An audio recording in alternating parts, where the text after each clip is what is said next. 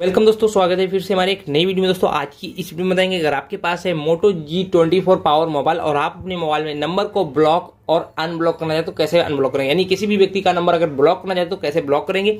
और कभी भी नंबर आपने ब्लॉक किया है, उसको कैसे अनब्लॉक करेंगे?